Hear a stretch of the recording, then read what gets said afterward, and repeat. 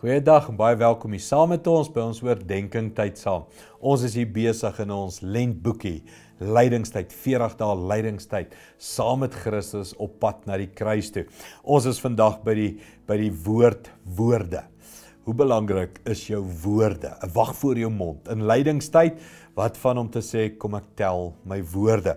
Matteus 12:36, een van daai verskriklike verse in die Bybel sê, dit sê ek vir julle van elke ligsinnige woord wat die mense sê, sal hulle rekenskap moet gee op die oordeelsdag.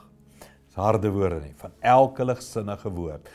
My beroep is praat. Dat ek 90% van die tyd en ek word betaal om te praat. Spreuke sê in 'n oorvloed van woorde is daar oorvloed sonde. Jakobus sê hy wat nie struikel in sy mond nie is 'n volmaakte mens. Woorde. Woorde is groot. Hier is iets wat ek die laaste tyd leer. Woorde is nooit net woorde nie. Daar's altyd iets diepers. Um as ek woorde sê, woede woorde, kraswoorde, uh, of dit nou vloekwoorde of nie vloekwoorde is nie, dit kan net 'n ag magtig of wat ook al net 'n woord wees. Daar's altyd iets agter dit. Wat gaan in my hart aan op daai oomblik? Daar's altyd iets van dit wys 'n dieper liggende frustrasie. Wat het Jesus gelê waarvan die hart vol is, loop hy mond van hoor. So iets van vandag se oefening. Kom ek evalueer my woorde. Kom ek evalueer wat's agter my woorde. Kom ek dink hoe breek ek my kinders af?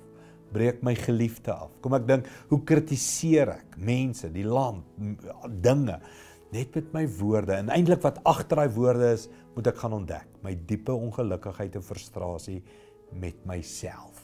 En ek bring dit uit in my woorde na ander.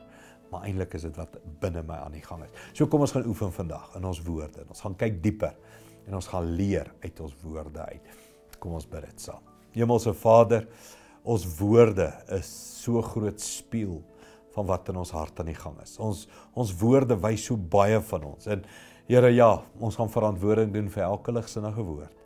Nie so seer oor die ligsinnige woord nie, maar omdat ons nie gaan dieper werk het nie. En dis my gebed vandag, dat ek vandag gaan dieper werk met my woorde. Woorde is nooit net woorde nie. Daar's altyd iets diepers. Help my ontdek, help my gesond word en dit sal wys in my woorde. Dankie daarvoor in Jesus naam. Amen wil jou nooi môre ons eredienste.